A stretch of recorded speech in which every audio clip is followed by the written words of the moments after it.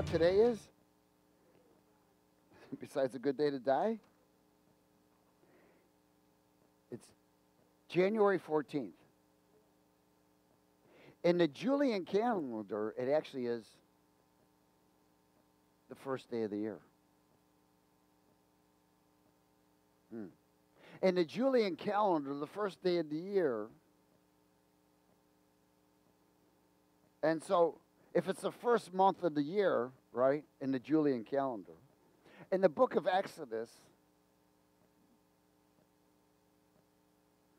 the Lord told Moses before they left Egypt in bondage, He said, on the 14th day of that month, at twilight, sacrifice an animal for Passover. Seven days later, they left. Think about that. We are in a time right now where all time frames, I don't want to say are colliding, I want to say they're merging. The Gregorian, the Julian calendar, the uh, Hebrew calendar, all of these time frames are merging now. This has never happened before. The reality of it has never come forth until now. Things are about to. So just think about this. In, in the time that, uh, when the Lord said, you know, okay, man, tell them, release the gold, release the silver, and all everything into your hands, and you're coming out. And he, one of the things he said, he said, I am commanding Pharaoh to release my army. Now, they didn't feel like army, they felt like slaves. Amen? But see, it's what God sees us not at, not what we see ourselves at. And so many times we fall into that place and how we see ourselves at. We allow the mirror to dictate who we are. We allow our decisions and our mistakes and failures, or even our successes, to dictate who we are. We allow and how we feel or our sick, sicknesses or diseases uh, to dictate who we are. When God says, You're, you're, uh, you're my army, you're my military. But Lord, I've done this. Look what he said to Gideon, great man of honor. Gideon was like, What? You must be talking about a donkey next to me. No, he said, I'm talking to you.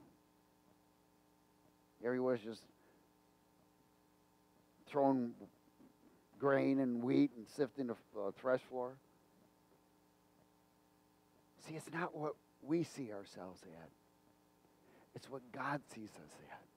So there's a place that you and I must constantly get to. And that's reckon yourselves to be dead. To what? Yourself. Isn't that what Jesus required? He said, if you really want to be my servants, if you really want to follow me, then you must first do what? Deny yourself. See, there's two selves there's the self of the flesh, and there's the self of the Lord. When you are born again, you get the self of the Lord. It's not the self of the flesh, it's the self of the Lord. Amen? Is everybody okay? All right, good. Well, let's go to Jeremiah 17 then, verse 5.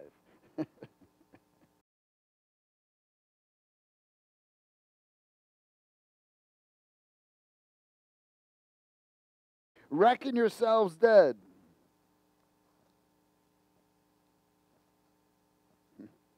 So next time somebody tries to hold you up to them, they hold a gun at you, you can't kill what's dead. So don't start screaming, ah, you're dead. Amen? Verse 5, let's speak it. Thus says the Lord, curse is the man who trusts in himself. What self is this? Self of the flesh.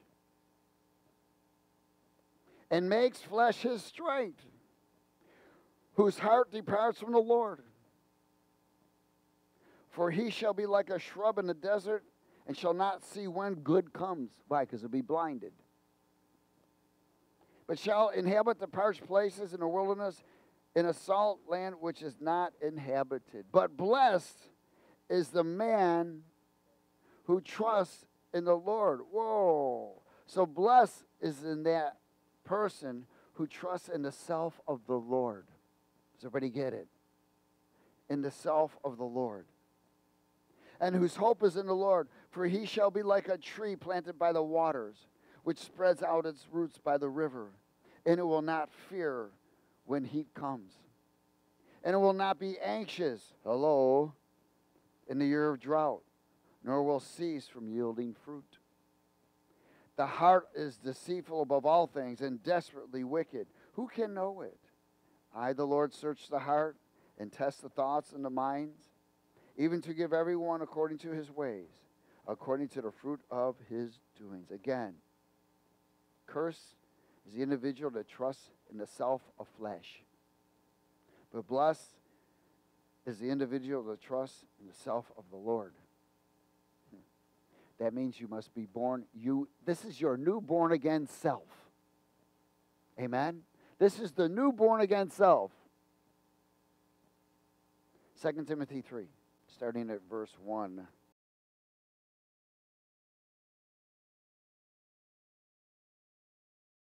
But know this in the last days, perilous times will come. Are we in perilous times?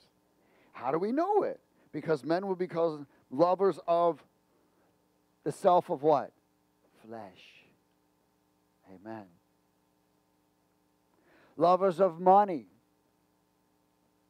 Boasters, proud, blasphemers, disobedient to parents, unthankful, unholy, unloving, unforgiving, slanderers, without self control brutal despisers of good, traitors, headstrong, haughty, lovers of pleasure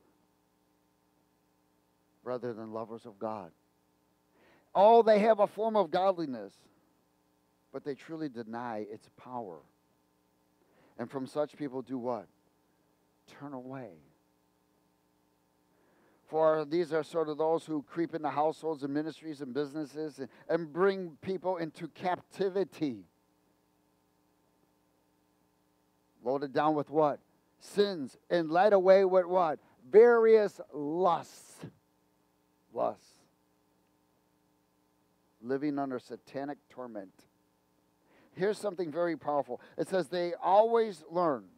Oh man, and they're always trying to educate themselves. They're always trying to improve themselves. They're always learning, but they're never able to get free. And they're come to the knowledge of the truth because truth sets you free. See, they they compromise the truth. To them, the truth is not full, it's partial. So they now never allow the true truth, the, the full penetrating truth, to penetrate them, to bring conviction. When truth begins to penetrate them, they bring reasoning, they bring justification. Well, why is that? Because the life of the self, flesh of self, is stronger. They're yielding to that more than they are the, the self of the Lord. You know, Jesus could be standing in front of you, people still have a choice. Amen? Look how many people stood in front of Jesus when he was here, and they still had a choice. God does not interfere with your choice, but he tries to persuade you in doing the right thing. Amen. It says it causes you to do things. So there's a right and a wrong way, isn't there? There's a left and there's a right, isn't there? Amen. Hallelujah. Lovers of themselves and their positions. They, they, so they love themselves and their positions they represent because it is the self of the flesh. They promote themselves more than they do God. Oh, they have a form of godliness. They, they may, may worship, they have a form of godliness. That means that they pretend to worship God. They pretend, they speak His word, they do all kinds of things. How many of y'all, the Satan could do, uh, imitate a Christian very well? Very well. So if these people reckon themselves dead, heck no. I run into, I'm not going to say many, but enough Christians that proclaim to be Christians, and I'm not saying that they don't love God, and I'm not saying that they don't believe, but they don't maintain the fruits that maintain their character and their credibility. Amen? That means that the life of the self flesh has got more dominion over them because they're not allowing it than the life of the self of the Lord. Amen. Remember what you yield to, you become. Romans chapter 8, verse 5. Is everybody there?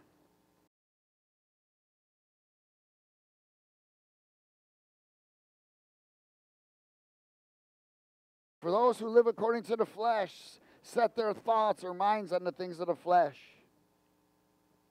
But those who live according to the Spirit, the things of the Spirit. For to be fleshly minded or carnally minded, this is the self of flesh, right? Is what? Death. But to be spiritually minded, the life of the, uh, of the self of the Lord is to be what? Have life and peace. Because the carnal mind, the carnal mind, the thoughts, the mind of the self, of the flesh, is enmity to God. Does everybody see this? See, this is a battle that's within us all the time. It says here, for it is not subject to the ways of God or the laws of God, nor indeed can it be. Wow. Nor indeed can it be. So the mind of the fle- of the self of the flesh can never be converted. It can never be converted.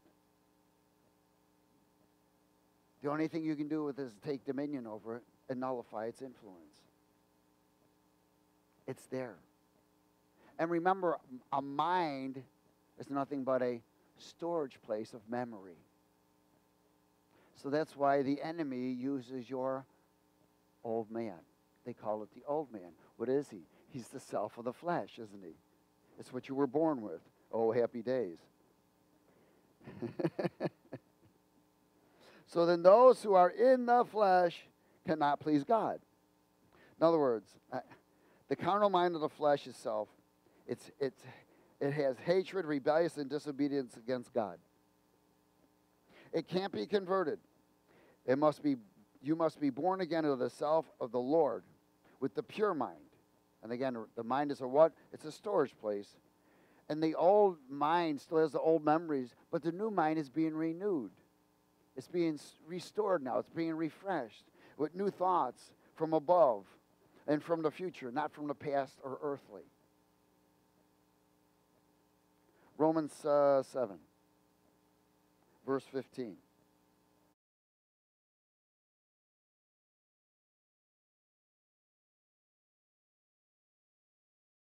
For what I am doing, I do not understand. For what I will to do, that I do not practice. But what I hate, that I do. if then I do what I will not to do, I agree with the law that it is good. But now it is no longer I who do it, but sin that dwells in me. What is the sin that dwells in you? The flesh of the what? Self. Everybody get it? Self of flesh, either way. For I know that in me, that is my flesh, in me, in my flesh, my old self, nothing good dwells. For to will is present with me, but how to perform what is good, I do not find. For the good that I will to do, I do not do, but the evil I will not to do, that I practice. Now you got to remember something. Here's Paul finally coming to a place where, you know what? I just realized my whole life, the things of my life, what's been going on. He was able to explain something very powerful. That's why Jesus took the old and the new and brought it to one. In verse 20, now if I do what I will not to do, it is no longer I who do it, but sin that dwells in me. The self of flesh dwells in me, the presence of evil. I find in a law that evil is present with me, the one who wills me, who dwell, wills to do good. For I delight in the law of the Lord God according to the inward man. Hello. But I see another law in my members warn against the law of my thoughts, bringing me into captivity to the law of sin which is in my members. Now, this is something very powerful because he says something. He says, I see another law in my members warring against the law of my mind. But in verse 22, he says, I delight in the law of God according to the what? Inward man. That is the new born again self. The new born again self. But he's realizing the battle that's within him.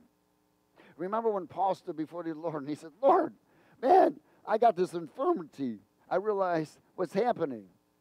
He said, Satan put a thorn in his flesh, remember? And he was crying out to the Lord for help. And the Lord said to him, My what? Grace is sufficient. Why? Because it wasn't about a sickness or disease. Paul finally recognized the wickedness of his flesh. There was another member there. See, you must recognize, I don't want to say that there's two people there, but there's the old and there's the new. There's two selves in you. There's the self of the flesh, and there's the self of the Lord. And which one you choose to submit to, which one you choose to feed. Amen. Which one you choose to starve is the one that will take position. That's why when people backslide, usually they backslide and they, they, they stay away, don't they? They stay away from uh, fellowship. They stay away from certain. Why? Because the enemy doesn't want them and uh, to restore or, or awaken the self of the Lord. They don't, they, they don't want them to recognize that there's another old evil thing there. Now, when, please realize that in, he says, in my flesh self, nothing good dwells. Amen? Nothing good dwells. Let's go a little further here. Hallelujah. Uh, verse 24. O wretched man that I am, who will deliver me from this body of death? I thank God through Jesus Christ our Lord. So then, with my thoughts, my mind, I myself, my new one, I serve the law of God. But with the mind and thoughts of the flesh, I serve the law of sin. Wow. So he says, In my flesh of self, nothing good dwells. With the pure mind of thoughts of Christ, I serve the law of God and the will of God.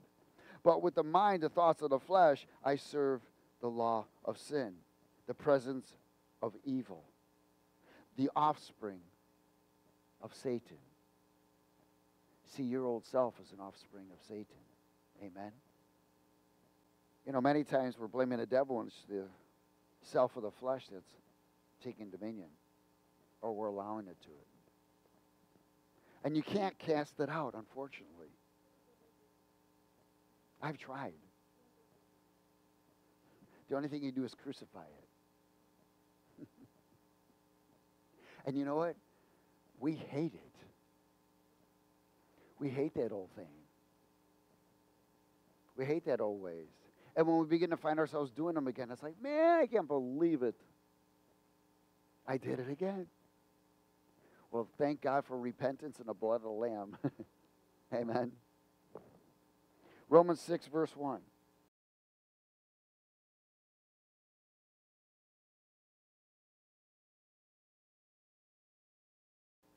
What shall we say then? Shall we continue in sin that grace may abound? Certainly not.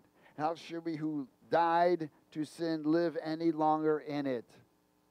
Or do you not know that as many as of us who were baptized in this, this is two representations. In Christ, meaning the baptism of the Holy Spirit of Jesus, we're baptized into his death. Therefore, we are buried with him through baptism into death, that just as Christ was raised from the dead by the glory of the Father, even so we also should walk in the newness of life. The newness of what? the new self of the Lord.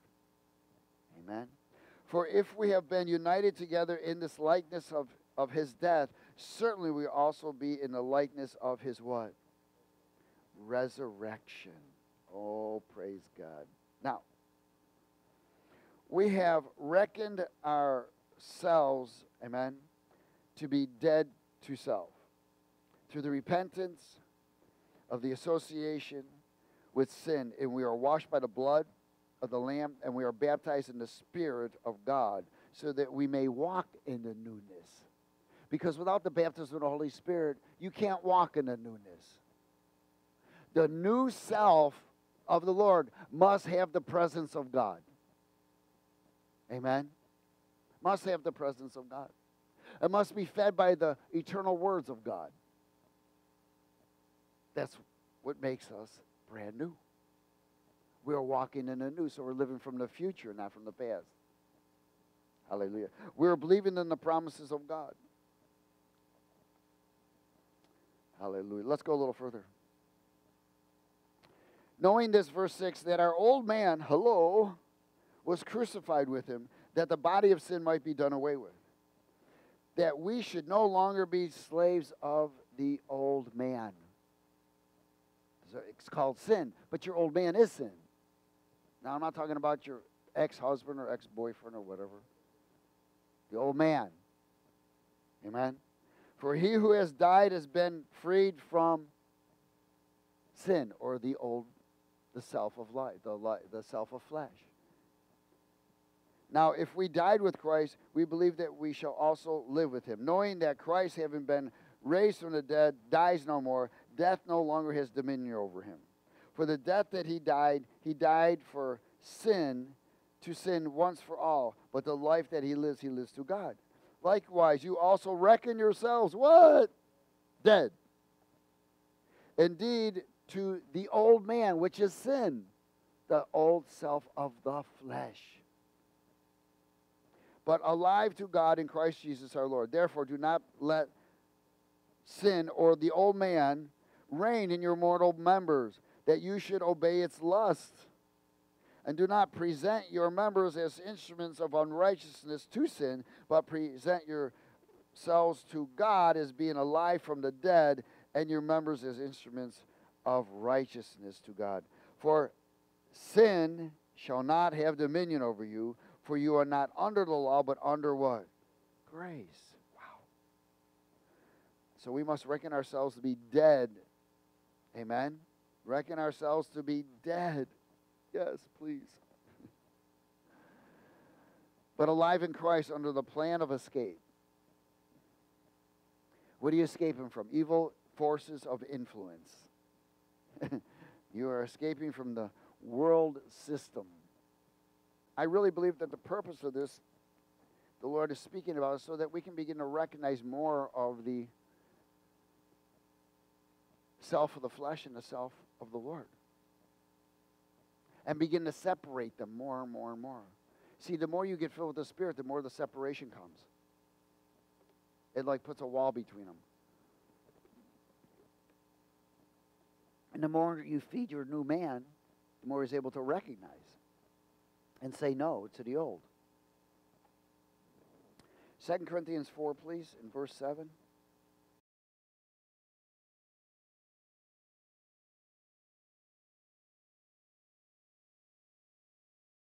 But we have this what? This treasure in earthen vessels, that the excellence of the power of God may be of God and not of us. Well, what is this earthen treasure? It's the new man. It's the self of the Lord. We are hard pressed on every side, yet not crushed. We are perplexed, but not despaired. Persecuted, but not forsaken. Struck down, but not destroyed. Always carrying about the body the dying of the Lord Jesus, that the life of Jesus also may be manifested in our body. For we who live are always delivered to death for Jesus' sake. That the life of Jesus also may be what? Manifested in our mortal flesh. That's taking dominion, isn't it? So then death is working in us, but life in you. And since we have the same spirit of faith, according to what is written, I believe that I, and therefore I spoke, we also believe and therefore speak, knowing that we who ra- he who raised up the Lord Jesus will also raise us up with Jesus and will present us with him. For all things are for your sake, that grace, having spread through the many, may cause thanksgiving to abound to the glory of God. Therefore, are you ready? We do not lose heart even though our outward man What's the outward man? The self of flesh, right? Is perishing. Yet the inward man, the self of the Lord, is being renewed day by day. For our light affliction, which is but for a moment, is working for us a far more exceedingly and eternal weight of glory. While we do not look at the things that are seen, but the things that are not seen. For the things that are seen are temporary, but the things that are not seen are eternal.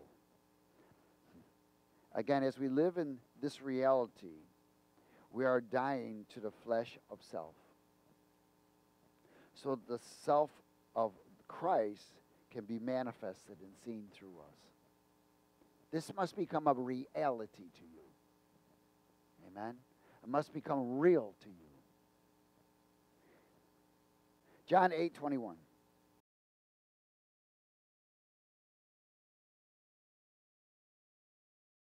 Then Jesus said to them all, Again, I am going away, and you will seek me, and you will die in your sins. You're going to die in yourself. Where I go, you cannot come. So the Jews said, Will he kill himself because he says, Where I go, you cannot come? And he said to them, You are from beneath. I am from above. You are of this world. I am not of this world. This is what makes us not of this world, even though the self of the flesh is still of the world. It's from beneath. In other words, its source is from beneath. It's, in other words, wickedness, evil. Verse 24 Therefore I said to you that you will die in yourself or in your sins. For if you do not believe that I am He, you will die in your sins. Then they said to him, Who are you? And Jesus said to them, Just what I have been saying to you from the beginning. I have many things to say and to judge according uh, concerning you. But he who sent me is true, and I speak to the world those things which I heard from him. But they did not understand that he spoke of them as to the Father. Oh, hallelujah. We are not of the world. Amen. Thank God. It didn't, I didn't say you didn't feel like you were not of the world, but you're not of the world. Luke 9, verse 23.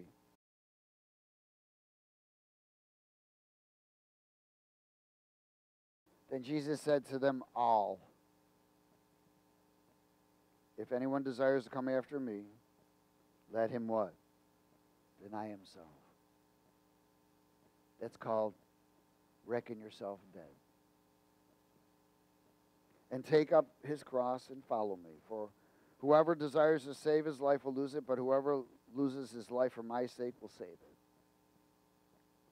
For what profit is it a man if he gains the whole world and he himself is destroyed or lost? Whoever is ashamed of me and my words of him, the Son of Man will be ashamed when he comes in his own glory and in his Father's and of the holy angels. But I tell you truly, there are some standing here who shall not taste death till they see the kingdom of God. Denying yourself of the flesh is the reckoning yourself dead. Amen? Reckoning yourself dead. And Romans 12, verses 1 and 2.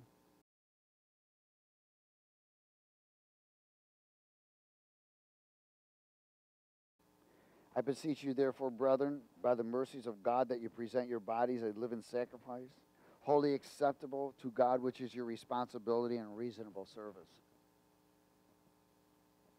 You certainly don't want to present to Him something that's not right. Amen. And do not be conformed to this world, but be transformed by the renewing of your thoughts, that you may prove what is that good, acceptable, and perfect will of God. There's a place where we must maintain a new way of thinking to keep the new self activated. It's our responsibility to make ourselves constantly activated. That's why the word tells us to stir yourself up. Amen. We must keep ourselves activated. You know, just no matter where you go, just hallelujah. I'll be in places waiting in line and just go, hallelujah. Everybody around me about passes out, but I'm stirred up. you know, praise the Lord. Thank you, Jesus. I mean, out of nowhere. And, or just start seeing, you know. What are you doing? You're stirring yourself up. You're reconnecting. You're, you're keeping the new man alive. Amen? Because the enemy wants to put you to sleep. Psalm 16, verse 7.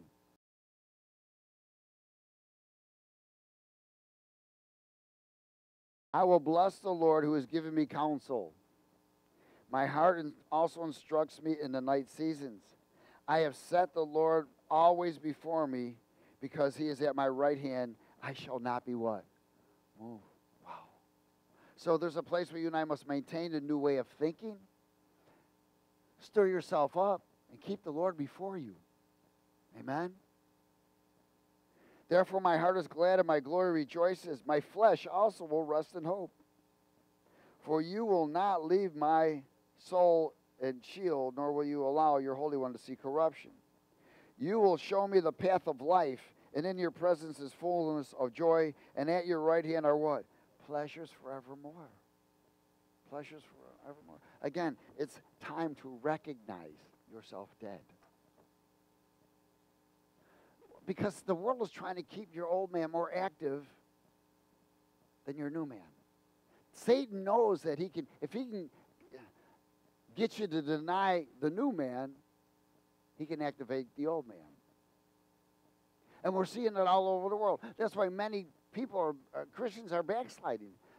Look how many of these legislation dudes are all, they're not, they're, they're stepping down from office because they've been caught. I'm not seeing too much repentance on TV. Well, they're justifying their reasoning. They're concerned about going to prison. they're not concerned about going to hell yet. That's because they're still living in the flesh. Or the, uh, the new man has been separated so far from the old man because the old man is more activated. Does everybody understand that? You know, if you're put in a, a, soundproof room, you can't talk to no one, you can't hear anything. That's what the enemy does to your, uh, your old man. And the only thing that you can hear is from the enemy. I mean, you could talk to people and they'll just say, yeah, yeah, yeah, yeah, and they, ain't, they ain't listen, they ain't hearing a thing. They're listeners, not a hearer. But when you hear, you put it into action. So remember, it's our responsibility to stir ourselves up. It's our responsibility, not God's, ours. We have the self of the Lord. We are eternal. I am because He is. He was and no more. so, one of the things the Word says is if you are led by the Spirit of God, your flesh is crucified. But you can't be led by the Spirit of God unless you're filled with the Spirit of God, right? And you can have all the forms of being filled, but still do your own thing. Remember how many times Jesus said, How many come before me saying, You practice lawlessness? Amen? I don't know you. And we are in this time right now of transition. There's such a tremendous time, and all the timelines are now falling together. I love it. There's an about to be an explosion that's happening. And we're going to see it. And God is preparing us for it. Amen. Praise God. So, Father, we thank you for your word. We are honored and blessed. uh, help us to die. In Jesus' name. Everybody said amen.